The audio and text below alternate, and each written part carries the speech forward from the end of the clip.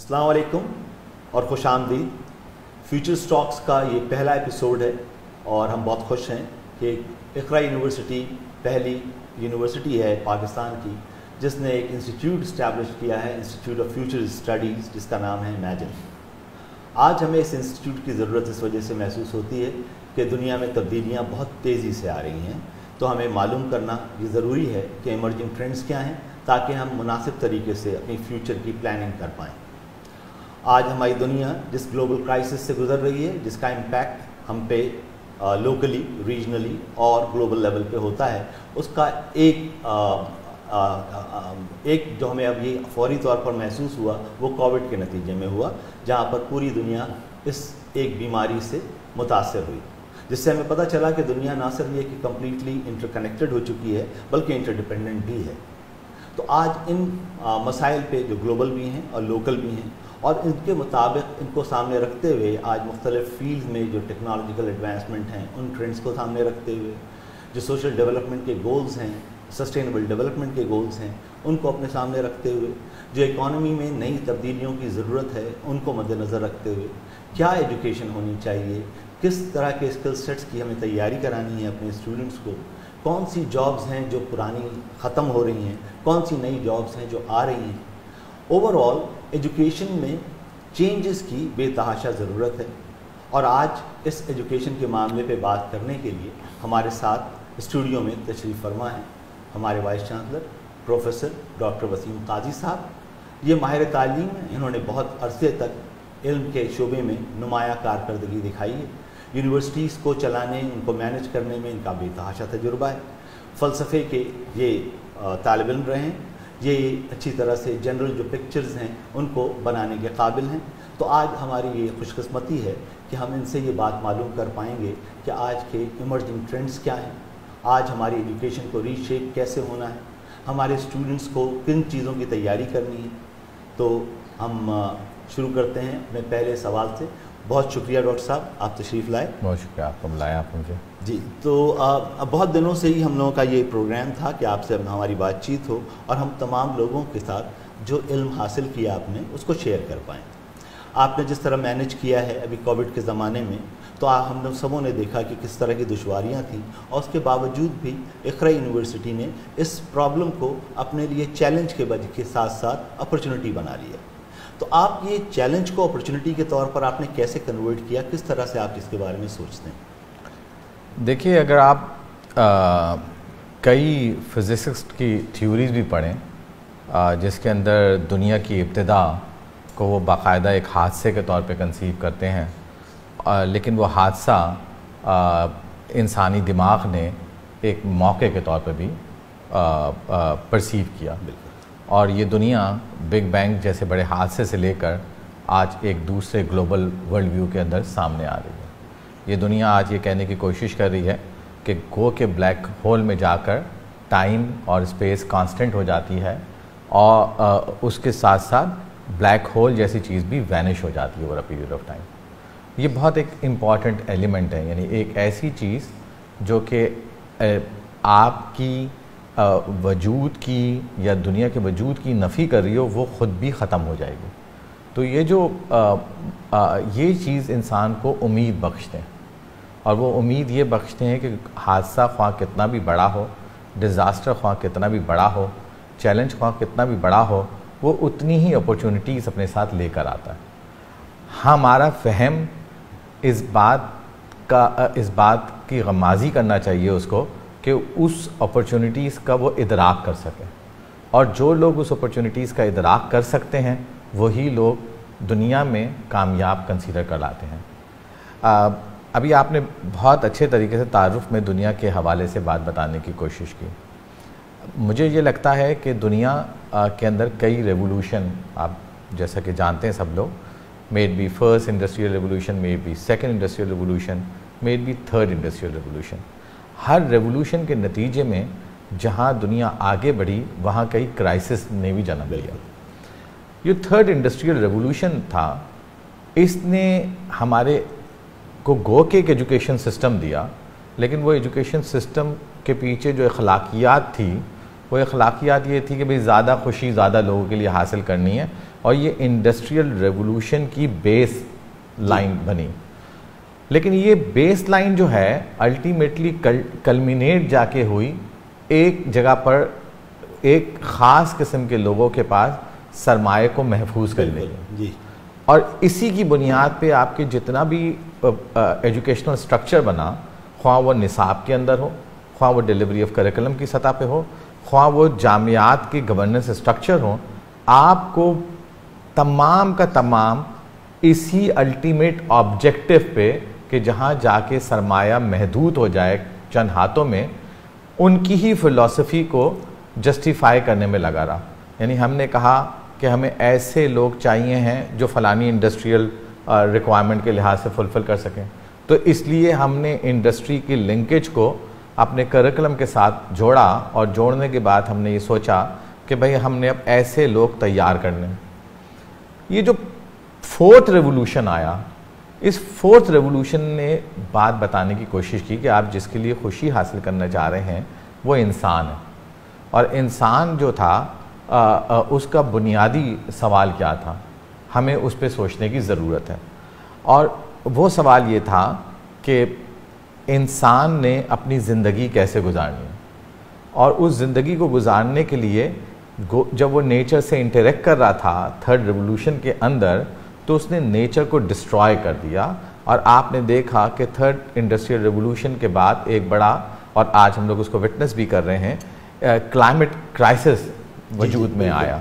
ये बहुत बड़ा मामला है। फिर आप ये भी देखते हैं कि थर्ड इंडस्ट्रियल रेवोल्यूशन के बाद एक क्लियर कट इकानमिक डिवाइड भी आपको नज़र आती है और क्लास कॉन्शियसनेस और क्लास मुख्तलिफ़ सोशल स्ट्रक्चर्स भी नज़र आते हैं जो कि थर्ड रेवोल्यूशन का ही मामला है।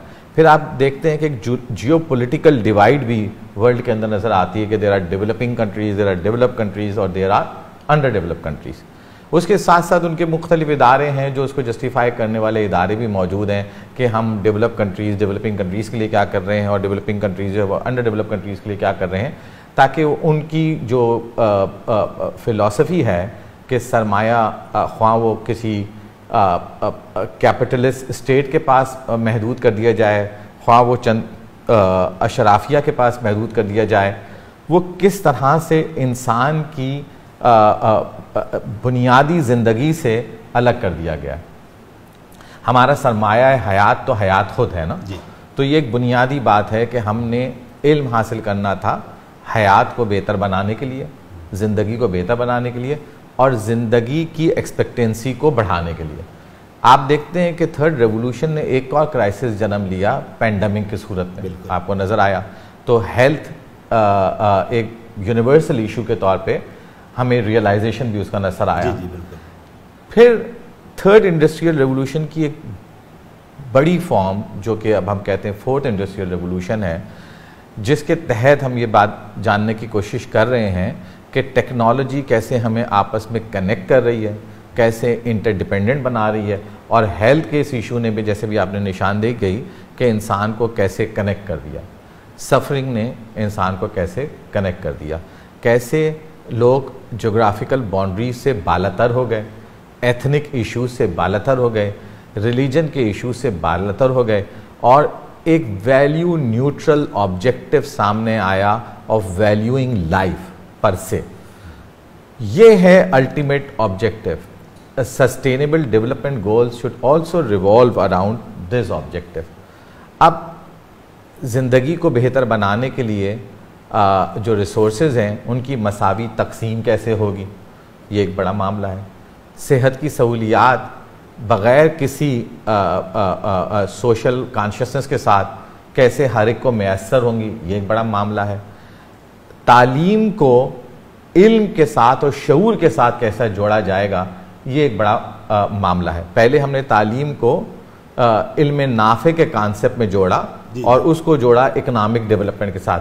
I am not against economic development I am more towards an economic development जो कि आपकी वैल्यू ऐड कर रही हो लाइफ की क्वालिटी को बेहतर बनाने के लिए जो कि डिवाइड क्रिएट ना कर रही हो, जो कि सरमाए को महदूद नहीं कर रही हो चंद हाथों के, चंद अशराफिया के हाथों में, बल्कि वो सरमाए को इस्तेमाल हो रहा हो जैसे कि इंसान का मकसद हयात था।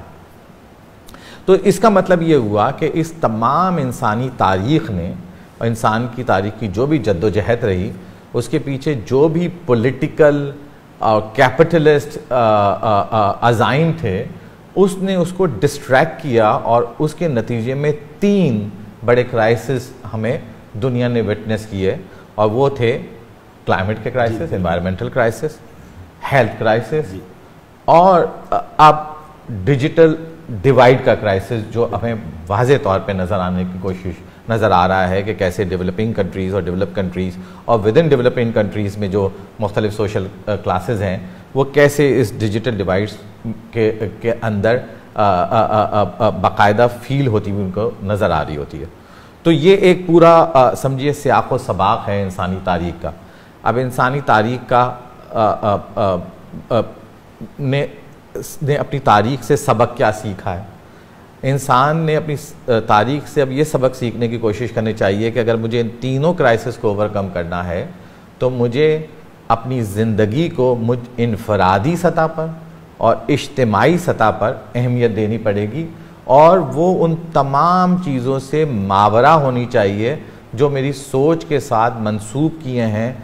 मैंने अपने किसी एक ख़ास पॉलिटिकल इकनॉमिक अजाइम के साथ। और अज़म ये होना चाहिए है कि मैं कितना अपने दिमाग को, अपनी सोच को आज़ाद कर सकता हूँ एमेंसिपिएट कर सकता हूँ इन तमाम रेट्रोग्रेड किस्म की आ, आ, आ, सोचों के से और उसको कितना करीब ला सकता हूँ ज़िंदगी को बेहतर बनाने के लिए। Okay. ये this is this is something जो कि फ्यूचर है इंसानियत का। अब आप आ जाइए सस्टेनेबल डेवलपमेंट गोल्स हैं जो सत्रह के सत्रह हमने आइडेंटिफाई किए।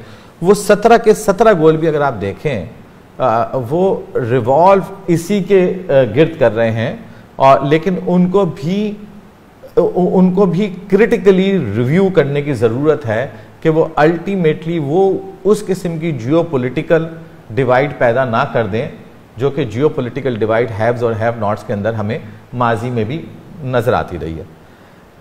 यह है आ, तमाम आपने बहुत ही अच्छी तरीके से कॉन्टेक्स्ट बताया हमें कि आज हम किस कॉन्टेक्स्ट में हैं।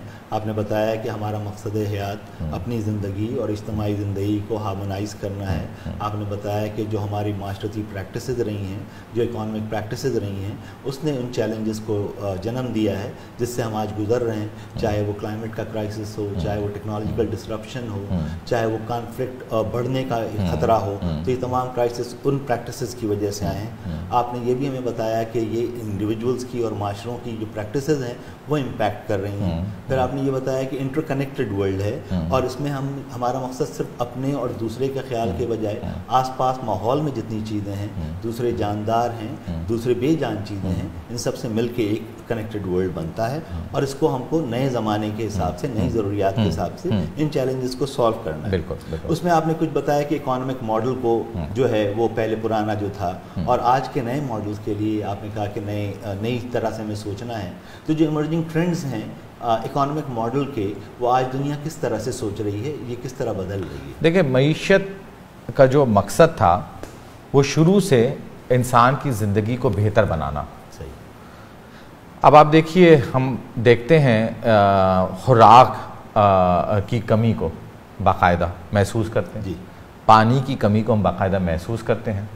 आ, हवा के अंदर आलूदगी को हम बाकायदा महसूस करते हैं।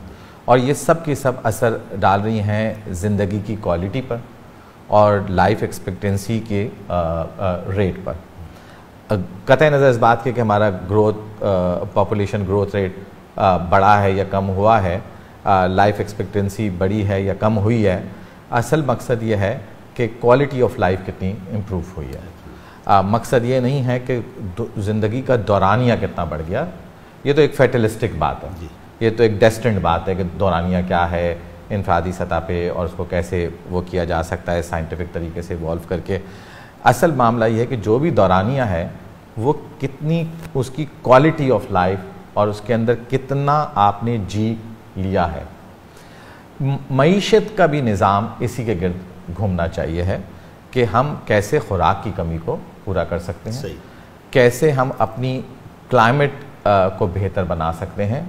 यानी ज़िंदगी के गिर जब तक मीशत का निज़ाम घूमता रहेगा आप बाकायदा एक पीसफुल क्वालिटेटिव लाइफ देख सकेंगे और ऑब्ज़र्व कर सकेंगे जो कि अल्टीमेट ऑब्जेक्टिव है आपका। अब आप आ जाइए कि मीशत का डायरेक्टली ताल्लुक है जैसे मैंने बताया क्वालिटी ऑफ़ लाइफ से। इसी तरीके से तालीम का भी ताल्लुक है क्वालिटी ऑफ़ लाइफ से। हमने क्या किया? हमने मीशत से से तो एजुकेशन का ताल्लुक जोड़ दिया। जोड़ दिया बिल्कुल। लेकिन वो बाकायदा एलिनिएशन और बेगाना हो गया क्वालिटी ऑफ़ लाइफ से। और लाइफ पर से से। हमारा जो मकसद था तालीम का वो था आगे शूर का मकसद।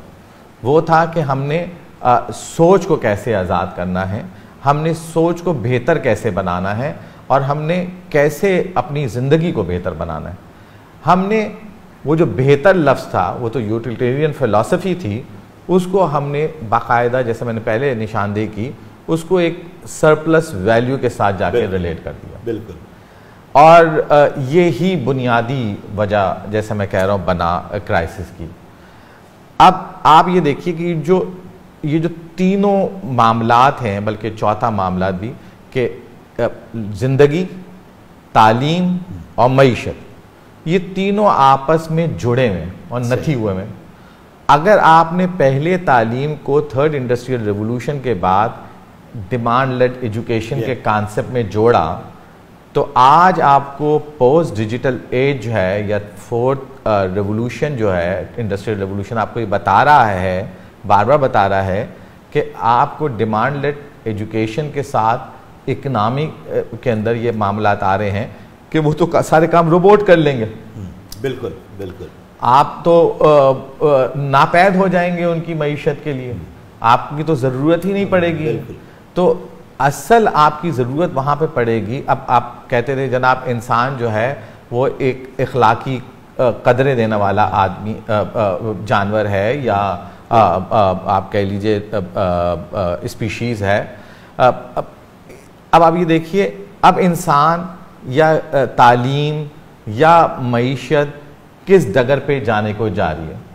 अगर सारे इंडस्ट्रीज़ के अंदर 40 परसेंट सिक्सटी परसेंट रोबोट्स काम कर रहे हैं और वो जजमेंट भी कर पा रहे हैं वो डिसीज़न मेकिंग भी कर पा रहे हैं वो एथिकल जजमेंट भी कर पा रहे हैं ड्राइविंग से लगाकर किसी भी हाईएस्ट लेवल कंप्यूटर की तो तालीम का मकसद इंसान के लिए क्या रहा?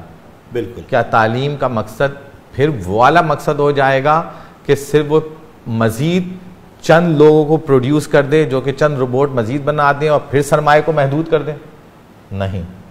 तालीम का मकसद वही है जो पहले से है कि आपने शूर को आज़ाद करना है आपने इल्म को हासिल करना है। आपको सच की आगही होनी चाहिए आपको ज़िंदगी को बेहतर बनाना चाहिए। ये है बुनियादी तालीम का स्ट्रक्चर तो निसाब भी जो है वो एक वो भी इनफरादी सतह पर आ जाएगा। Okay. जो निसाब पहले एक यूनिवर्सली स्ट्रक्चर्ड हो रहा था और हम एक ख़ास किस्म का माशरा और एक ख़ास किस्म की नस्ल और एक ख़ास किस्म की कौम बनाने में लगे हुए थे। वो अब बाकायदा एक इंसान की सतह पर आ जाएगा एक फ़र्द की सतह पर आ जाएगा। देखिए आज आप बात करते हैं इंडिविजुअल डिफरेंसेस इन क्लासरूम्स की।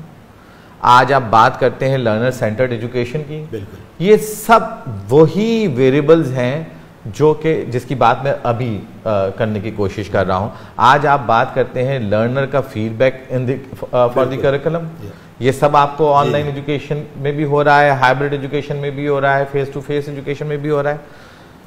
और आज आप बात कर रहे हैं गूगल की सतह पर एप्पल की सतह पर कि हमें डिग्री नहीं चाहिए भाई आपकी। बिल्कुल। हमें तो स्किल्स वो ला दो जो हमें चाहिए। बिल्कुल प्रॉब्लम तो आप स्किल बेस आप एजुकेशन की तरफ़ जा रहे हैं। आप प्रॉब्लम सॉल्विंग एटीट्यूड की तरफ़ जा रहे हैं और यही नई वो स्किल्स हैं रीजनिंग की स्किल क्रिएटिविटी की स्किल और ये नई नहीं है। यकीन मानिए बिल्कुल नई नहीं है। ये असल स्किल्स थी इंसान की। और हमने इसको ओवर शेडो कर दिया और हमने मुख्तलिफ़ रोबोटिक की फॉर्म में आ, अपने जन्म आप ये देखिए ये जो आप अक्सर आप भी इसका तस्करा करते हैं और बाकी आजकल के बच्चे हमारे तस्करा करते हैं हर आरी का भी। मोर और लेस वो भी यही बात करने की कोशिश कर रहा है कि इंसान ने आ, आ, आ, आने वाले वक्तों में क्या इंसान नापैद हो जाएँगे?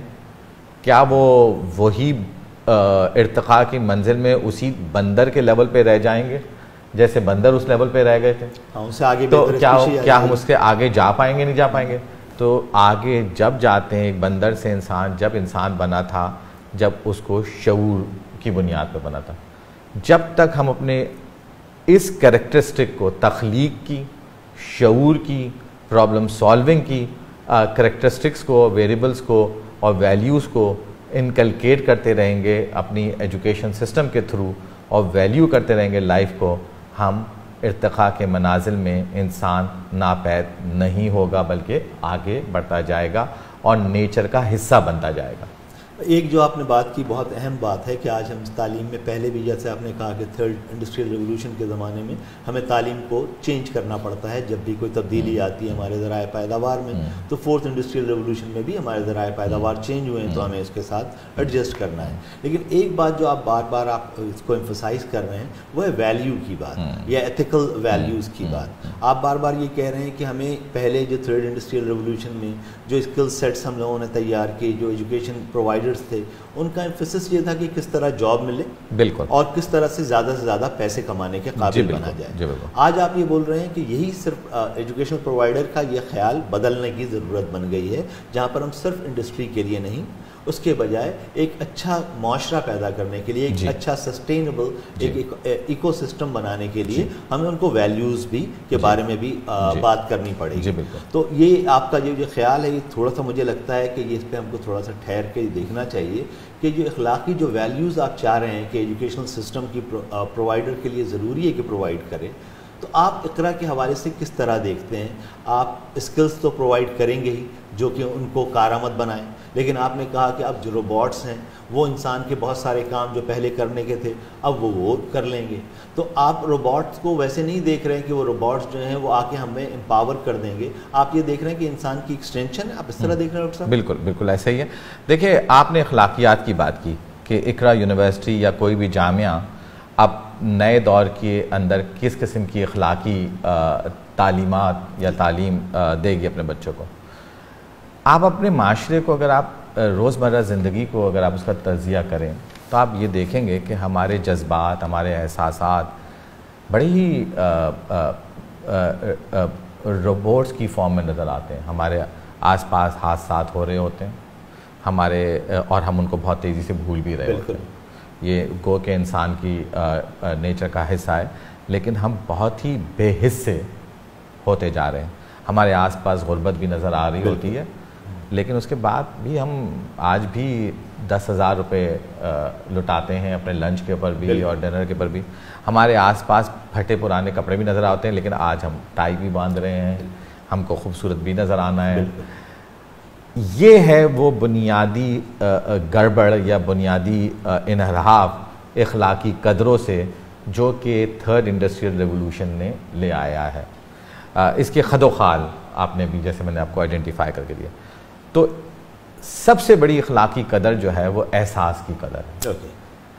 अगर हमारा बच्चा और हमारी जामियात इंसानियत को बाकायदा एक अखलाकियात की पैरामीटर में ले आएँ और वो एहसास मैं नॉस्टैल्जिक नहीं हूँ कि कोई ख़त्म हो गया या फलाना हो गया आज भी है एहसास लेकिन वो थोड़ा सा थोड़ा सा हमें ये नज़र आता है बढ़ाने की ज़रूरत है। अच्छा और आ, और हमें नज़र भी आया। जी। आपने कोविड 19 में देखा। कोविड 19 में देखा ये किसी नेशन का मामला तो रखा ही नहीं गया। ये किसी रिलीजन का मामला भी नहीं रखा गया। ये किसी भी मुल्क और कौम का भी मामला नहीं रखा गया। तो अब आप ये देखिए कि हमने भी यही करना है कि हमारे बच्चे के अंदर जो एहसास था और है उसको उजागर कैसे करना है? उसके एहसास को कैसे इंसानियत के मज़ीद करीब लेकर आना है? और एक बहुत इंपॉर्टेंट बात जो आपने अपने तारुफ में की और जिसकी बार बार मैं वो कर रहा हूँ मैं और आप अलग नहीं हैं। मैं और आप एक दूसरे से इंटरकनेक्टेड हैं। ये बहुत इंपॉर्टेंट एलिमेंट है।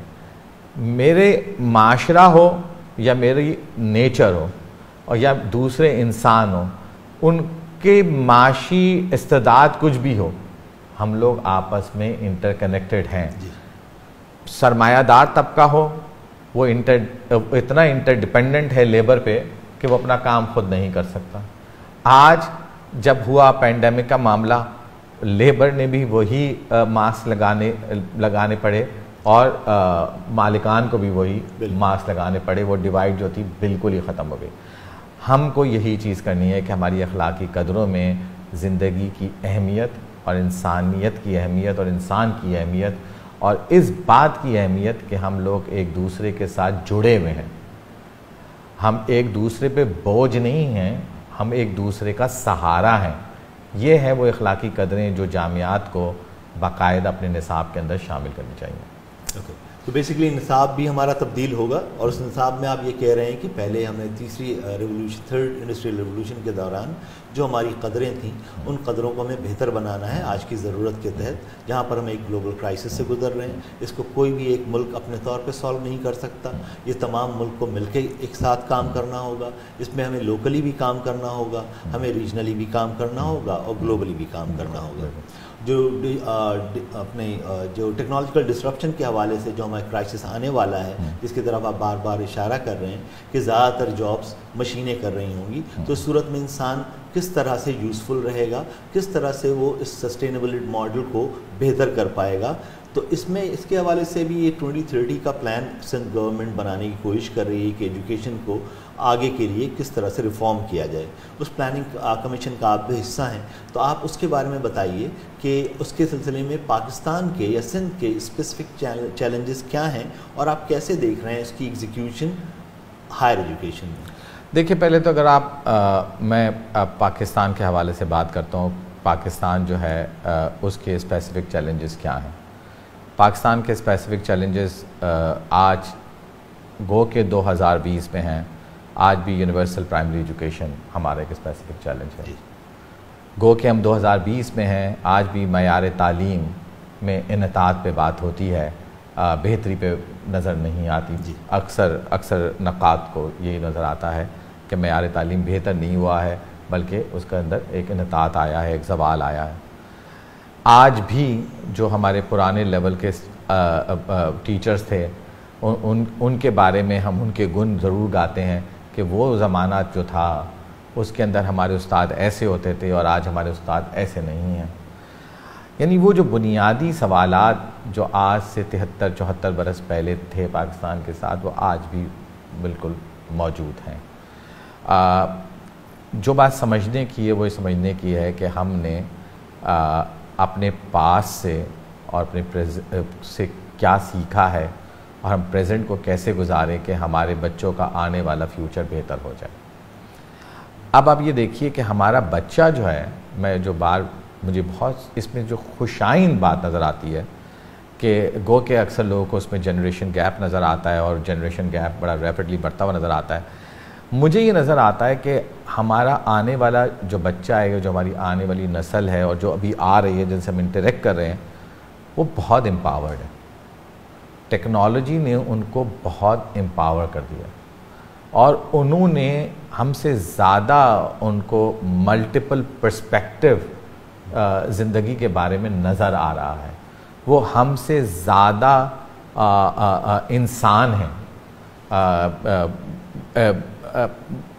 हमसे ज़्यादा इंसान इस वजह से हैं कि हमने इंडस्ट्रियल रेवोल्यूशन की हम लोग एक्सटेंशन है और वो उसकी क्रिटिक को ऑब्ज़र्व कर रहे हैं। जहाँ पाकिस्तान के अंदर अभी मुझे ये चीज़ नज़र आती है कि पाकिस्तान का बच्चे के अंदर अगर ये चीज़ मौजूद है तो ये जो आप देख रहे हैं टेक्नोलॉजिकल डिस्ट्रप्शन जो होने को जा रही है तो एक कांटम लीप पाकिस्तान का तालीमी निज़ाम और पाकिस्तान की मीशत इसके अंदर ले सकती है रिलाइंग ऑन दी स्किल्स और इन नेट स्किल्स जो नेचर ने हमारी अभी आंदा आने वाली नस्ल को और इस नस्ल को दे दिया तो ये एक बहुत इंपॉर्टेंट और खुशाइन बात है। ये इंग्रेडिएंट जो है और इसी पे ही हमें कैपिटलाइज करने की ज़रूरत है। जो मैंने पहले भी कहा कि आने वाली स्किल्स भी ऐसी स्किल्स हैं, हमने बच्चे को यही चीज़ सिखानी है कि वो प्रॉब्लम को सॉल्व कैसे करे। वो प्रॉब्लम को जब सॉल्व करना है उसने तो उसने सोचना है। जब प्रॉब्लम को सॉल्व करना है तो उसने तख्लीक करना है। प्रॉब्लम को अगर सॉल्व करना है तो उसने रीजनिंग करनी है। प्रॉब्लम को अगर सॉल्व करना है तो उसने मल्टीपल पर्सपेक्टिव की एक्सेप्टेंस अपने अंदर आ, डालनी है। आ, ये चीज़ें स्किल भी पैदा कर रही हैं और ये चीज़ें कदरें भी पैदा कर रही हैं उसके अंदर। तो ये जो इकदार और स्किल का का कहना चाहिए अमलगमेशन है इंसान और उसको सोच के साथ जैसे जोड़ना है यही हमारा पाकिस्तान का बुनियादी चैलेंज भी है और यही पाकिस्तान का सबसे बड़ा इस वक्त अपॉर्चुनिटी भी मौजूद है। देखिए आपने कई किताबें पढ़ी होंगी जिसमें एक किताब और भी थी जो अक्सर पढ़ाई जाती थी हबट मार्क्यूजे की। हाँ वन डायमेंशनल और उसने उस बारे में निशानदेही करने की भी कोशिश की कि कैसे थर्ड वर्ल्ड से तब्दीली आ सकती है आ, या चेंज लाई जा सकती है। तो मुझे भी ऐसे ही लगता है मुझे भी ऐसा ही लगता है कि देखिए ये तब्दीली नमू हो रही है। हमारा बच्चा खुद से आज़ाद हो रहा है और हमारा बच्चे खुद से आज़ाद होने का मतलब नहीं कि वो सेल्फ इंडिपेंडेंट हो रहा है। खुद से आज़ाद होने का मतलब ये है कि हमने हमारा उसमें कोई कंट्रीब्यूशन नहीं है। सही। हमारा उसमें फिल वक्त कोई कंट्रीब्यूशन नहीं है। हमारा कंट्रीब्यूशन अभी भी ये है कि हम उसको एक इंजीनियर के रूप में देख लें एक डॉक्टर के रूप में देख लें या एक स्ट्रक्चर रूप में देख लें बजाय इसके कि हम ये देखें कि फ़लाने बच्चे के ये करेक्टरिस्टिक्स हैं ये एट्रीब्यूट्स हैं ये स्किल्स हैं हमारा तालीमी निज़ाम उसको कैसे फैसिलिटेट कर सकता है उसकी सेल्फ को ऊपर लाने के अंदर एक्सेल कराने के अंदर। हम उसको वही स्ट्रक्चर करने की कोशिश कर रहे हैं जैसे भी है। तो हमें भी इस पोस्ट स्ट्रक्चरल वर्ल्ड के अंदर अपने निसाब को इन तमाम बाउंड्री से निकालना होगा और इन तमाम स्ट्रक्चर से निकालना पड़ेगा जो pre conceive third industrial revolution की वैल्यूज़ हैं। और इस इनहेरेंट फैलिसीज़ की वजह से हम इन क्राइसिस पे पहुँच गए। सही। तो डॉक्टर साहब, ये आप एक बात आपने ये तो बहुत अच्छी तरह से हमें बताया कि ये किस तरह से पाकिस्तान के लिए एक अपॉर्चुनिटी का टाइम भी है। इनफैक्ट सारे डेवलपिंग कंट्रीज़ के लिए एक अपॉर्चुनिटी भी है। कि ज़्यादातर ममालिक में आप जैसे पॉइंट आउट कर रहे हैं कि यूथ की तादाद बहुत बड़ी है और यूथ चूँकि एक चेंज का सबसे बड़ा ज़रिया होता है और आज इन तमाम टेक्नोलॉजीज़ की जो आदि है यूथ जो आपने बताया इसकी वजह से एक इम्कान बनता है कि ये एक लीप भी बन सकता है वजह इसकी कि एक चैलेंज बने। बिल्कुल। साथ साथ आप कई दफ़ा मुख्तलिफ़ फोरम्स पे ये आ, कहते रहें कि इंटरनेट आज एक हक है। इसके बारे में आप बताइए कि आप ये इसकी ये जो बात कहते हैं ये किस वजह से आप ये वाली बात कहते हैं? देखिए इंटरनेट एक टूल है। जी। टूल है एक्सेसिंग इंफॉर्मेशन जी। टूल है एक्सप्रेसिंग योर सेल्फ टूल है understanding about the changing dynamics of your life और ऑफ़ दी वर्ल्ड अगर ये राइट right मैं इसको कंसीडर नहीं करूँ टूल को तो हम डिप्राइव करेंगे अपने अपने बच्चों को और उन नस्लों को आ, इन तमाम चीज़ों से जिसकी तरफ़ मैंने बात बताने की कोशिश की कि मैं कैसे उस राइट को महरूम कर दूँ? फिर हम कैसे महरूम कर दें उनको ज़िंदगी को नए सिरे से और सही तरीके से देखने से? इंटरनेट एक टूल है एक दूसरे से कनेक्ट करने से। जी। तो मैं कैसे महरूम कर दूँ और अपने बच्चे को या अपनी नस्लों को या इंसानियत को एक दूसरे से दूर कैसे कर दो? तो अगर इंटरनेट इस तरह का टूल है जो कि कनेक्ट कर रहा है इंटरनेट एक ऐसा टूल है जो कि आपको ज़िंदगी को ज़िंदगी का मकसद बताने की कोशिश कर रहा है तो मेरे ख़्याल में ये इन हर इंसान का हक होना चाहिए।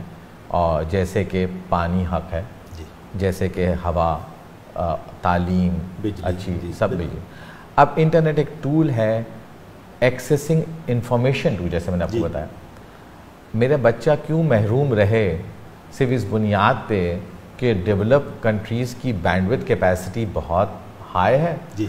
तो वो डाउनलोड बड़े आराम से इंफॉर्मेशन कर लेगा। हमारी बैंडविथ कैपेसिटी इंटरनेट के राउटर्स की इश्यूज़ बहुत ज़्यादा हैं। तो हम लोग बैंडविथ कैपेसिटी की वजह से उस इंफॉर्मेशन को डाउनलोड नहीं करेंगे। तो इसका मतलब है वही डिजिटल वो डिवाइड जो कैपिटलिस्ट माशरा कर रहा था वो ये डिजिटल डिवाइड भी कर देगी। तो ये बहुत ही इसके मामले में दुनिया को और इंसानों को एक फ़ैसला करने की ज़रूरत है और रियासतों को एक फ़ैसला करने की ज़रूरत है कि हम इसको बिल्कुल वही अहमियत दें और इसकी रसाई इस, इस तक रसाई अपने तमाम बच्चों की मुमकिन बनाएँ वरना हम लोग बहुत पीछे रह जाएँगे।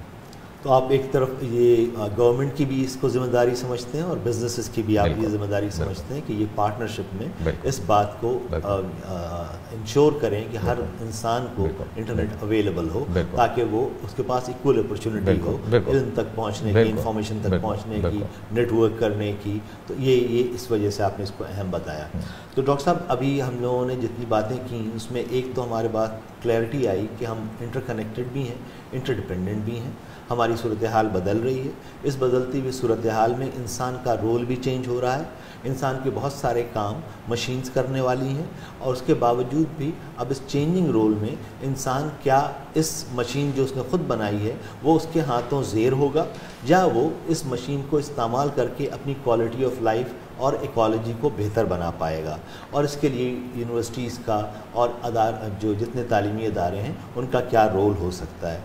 तो डॉक्टर साहब सोशल रिस्पॉन्सिबिलिटी के हवाले से यूनिवर्सिटीज़ जो कुछ कर सकती हैं, या इकरा यूनिवर्सिटी का जो प्लान है, आप वो बताइए कि क्या सोशल रिस्पॉन्सिबिलिटी है इकरा यूनिवर्सिटी की, और उसके सिलसिले में आपके पास क्या प्लान है? देखिए, निसाब की सतह पर मैं कहता हूँ, हमने निसाब की सतह पर सोशल रिस्पॉन्सिबिलिटी को और अपने कल्चर जो यूनिवर्सिटी का कल्चर है उसको बाकायदा एक अहमियत दी हुई है। निसाब में कई कोर्सेज हैं सोशल रिस्पॉन्सिबिलिटी के जो कि बच्चों को कम्युनिटी के साथ कनेक्ट करते हैं। एक कोर्स है जिसको हम कहते हैं ethics and social responsibility course उसके उसके तहत हज़ारों बच्चे मुख्तलफ़ प्रोजेक्ट्स ख्वाह वो डिस्ट्रीब्यूशन ऑफ़ फ़ूड का हो ख्वाह वो प्रोविज़न ऑफ़ ड्रिंकिंग वाटर का हो ख्वाह वो प्रोवाइडिंग हेल्थ फैसिलिटी का हो ख्वा वो आ, आ, गंदगी को साफ़ करने का हो ख्वाह वो आ, आ, किसी की ब्रेस्ट कैंसर अवेयरनेस का हो ये मुख्तलिफ़ प्रोजेक्ट्स बच्चे जो हैं उसके अंदर कर रहे हैं।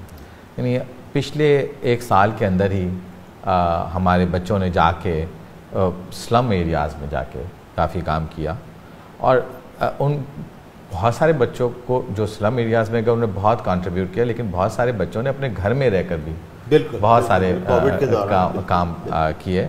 और एक दूसरे को मैं आपको कैसे बताऊँ?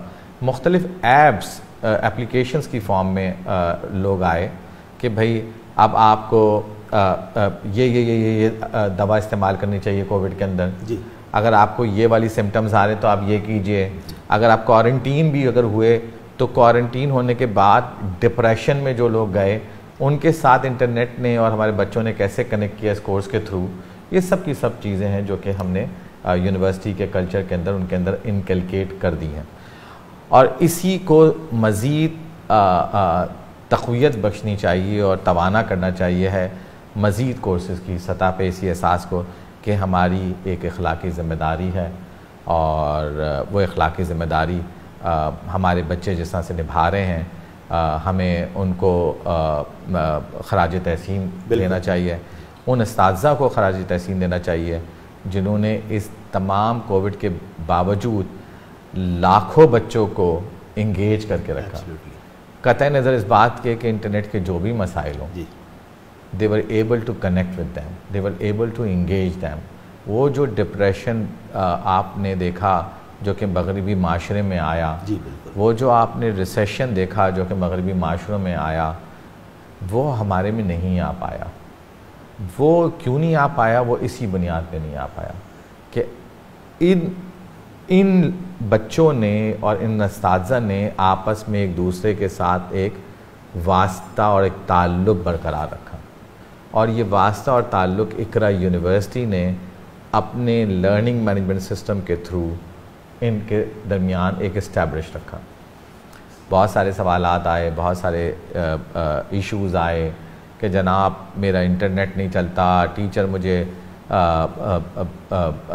असाइनमेंट की डेडलाइंस दे रहा है आ, कई किस्म के इश्यूज़ लेकिन सबसे बड़ी खुशाइन बात ये थी कि हमने अपने बच्चों को सुसाइड की तरफ़ रागब नहीं होने दिया उनके बिहेवियर को वायलेंट नहीं होने दिया। और हमने जो कि ऐसे प्रिडिक्ट कर रहे थे कि सोसाइटी में सिविल सोसाइटी में काफ़ी ज़्यादा अनरेस्ट हो जाएगा कोविड के बाद और दौरान कोविड वो नहीं होने दिया। ये एक सोशल रिस्पॉन्सिबिलिटी के कोर्सेज ने किया और एक हमारे इस ने किया कि इन लोगों ने इन लोगों को इंगेज रखा। और ये सब प्रोवाइड किया हमारी ऑनलाइन लर्निंग की स्ट्रैटेजी ने कि इनको इंगेज रखा जाए। जहाँ आप डिसंगेज होते, यकीन मानिए आपका माशरा किस हालत में होता, उसका तस्वुर करना भी तकरीबन उसका तस्वुर ही एक हवलनाक है। और हमें अल्लाह ने तोफ़ी दी कि हमने इसको कर लिया। डॉक्टर साहब, ये आखिरी एक सवाल इससे पहले कि हम मज़ीद सवाल अपने नाजरीन के लेने शुरू करें। और ये सवाल ये है कि आपने अखरा यूनिवर्सिटी, पहली यूनिवर्सिटी वाहिद यूनिवर्सिटी है पाकिस्तान की, जिसने एक institute of future studies, imagine के नाम से इस्टेब्लिश किया है। ये इंस्टीट्यूट की क्या अहमियत है? आप, आपको क्या ज़रूरत लगती है कि अखरा यूनिवर्सिटी ने ये इनिशिएटिव लेना ज़रूरी है? देखिए, बहुत सादा सी बात है। सादा सी बात यह है कि हम माजी में ज़िंदा नहीं रह सकते। सही। और हम हाल में जो ज़िंदा हैं वो इस तरह से रहना चाहिए कि हम अपने मुस्तबिल को संभाल सकें। बिल्कुल। अब मुस्तबिल कैसा होगा उसके बारे में जानने की ज़रूरत है। और उसके बारे में जानने की ज़रूरत इस तरह इसलिए भी है कि हम अपनी ज़िंदगी को भी बेहतर बना सकें। तो ये बुनियादी वजह बनी इंस्टीट्यूट ऑफ़ फ्यूचर स्टडीज़ के दाग बेल डालने की। अब मुस्तबिल के बारे में बातें कैसे होंगी? थिंक टैंक कैसे बनेंगे? फोरम कैसे बनेंगे? कैसे आप वर्ल्ड के स्कॉलर्स के साथ कनेक्ट होंगे? कैसे वो अपने एक्सपीरियंसेस बच्चों के साथ शेयर कर रहे होंगे? कैसे मल्टी परस्पेक्टिव जो है आपकी लाइफ के अंदर आ रहा होगा? कैसे बच्चों को आपको एक्सपोजर मिल रहा होगा? आज आप देखिए आपने एक कोर्स ऑफ़र किया फ्यूचर स्टडीज़ के नाम से एज ए कॉमन ऑप्शनल मुझे इतनी खुशी होती है कि पंद्रह हज़ार बच्चों ने इसमें इनरोल किया। यानी विल यू बिलीव इट कि बच्चों ने हमसे ज़्यादा इसकी अहमियत को समझ लिया है कि अब अगर ये बच्चे हमारा मुस्तबिल हैं तो हमें इस इंस्टीट्यूट को बहुत पहले कायम कर लेना चाहिए था। और हमें इस मुस्तबिल को संभालने के लिए ही ये इंस्टीट्यूट बनाया है। बहुत शुक्रिया डॉक्टर साहब। अब चंद सवाल हैं जो हमें आ, मिले हैं नाजरीन की तरफ़ से। वो वो मैं आपके साथ शेयर करता हूँ। एक सवाल तो हमारे पास है जो एक पेरेंट का ये सवाल है। इन्होंने कहा है कंसर्न पेरेंट हैं। और ये ये जानना चाह रही हैं कि इनका ये कहना है कि इनकी बेटी है अभी सेवन ग्रेड में और ये दस साल के बाद इसको कौन से काम के लिए, कौन से स्किल्स के लिए हम तैयार करें, कौन सी जॉब्स हम एक्सपेक्ट करें कि ये मेरी बेटी कर पा रही होगी या जिसकी ज़रूरत पड़ेगी, जिन स्किल्स की, वो कौन सी आप आ, आ, आ, से गुजारिश ये है कि आप अपनी बेटी के साथ इंटरेक्ट करें। और ये देखें कि वो ख़ुद क्या करना चाहती है। और ये देखें कि उसके अंदर इन नेट सलाहियत उसके लिए क्या मौजूद है। देखिए जो भी चीज़ पैशन से की जाती है उसके अंदर अल्टीमेटली खुद ही एक्सेलेंस आ जाती है। कोई भी जॉब कोई भी मजमून बेकार नहीं होता। अगर उसके अंदर शौक़ मौजूद है तो। तो हमें आ, ये देखना चाहिए कि हमारे बच्चों की रुझान किस तरफ़ है और इस बच्ची का रुझान किस तरफ़ है और हमें एज ए पेरेंट उस रुझान के अंदर उसको जो सलाहियतें चाहिए जो मौके चाहिए वो प्रोवाइड करने की कोशिश करनी चाहिए। तो मैं किसी भी एक स्पेसिफिक जॉब की तरफ़ हाईलाइट नहीं करना चाहता। मैं बच्ची की रुझान और बच्ची की शौक़ की तरफ़ हाईलाइट करना चाहता हूँ। हमारा काम सिर्फ़ और सिर्फ़ यह है कि उसको कैसे बच्चे को फैसिलिटेट करना है कि उसको अचीव कर सके।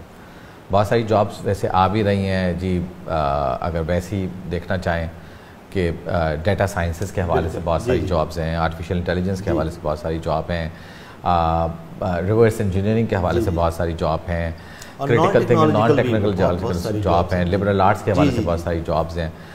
मैंने फिर कहा कि मकसद जो है वो बच्ची के रुझान और शौक़ को देखिए एक्सेलेंस खुद आ जाएगी, सरमाया मनी ये सारी फेक टर्म्स हैं।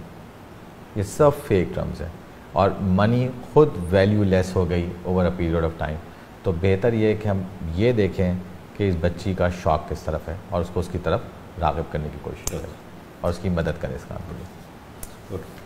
दूसरा सवाल है डॉक्टर साहब ये एक यूनिवर्सिटी के प्रोफेसर हैं और इनका ये कहना है कि मैं अपडेटेड अपने स्किल्स को कैसे रखूँ? नए दस साल के बाद या मैं आगे फ्यूचर में अपने आप को रेलेवेंट रखने के लिए क्या कर सकता हूँ? बहुत मुश्किल सवाल है। हम्म। आ, दस साल बाद पता नहीं हम लोग ज़िंदा रहते हैं रहते लेकिन आ, आ, आ, इसको अपडेट रखने के लिए इंटरेक्ट कीजिए नौजवान लोगों से। ओके नौजवान लोग आपको ख़ुद बताएँगे कि आने वाला कल्चर क्या है।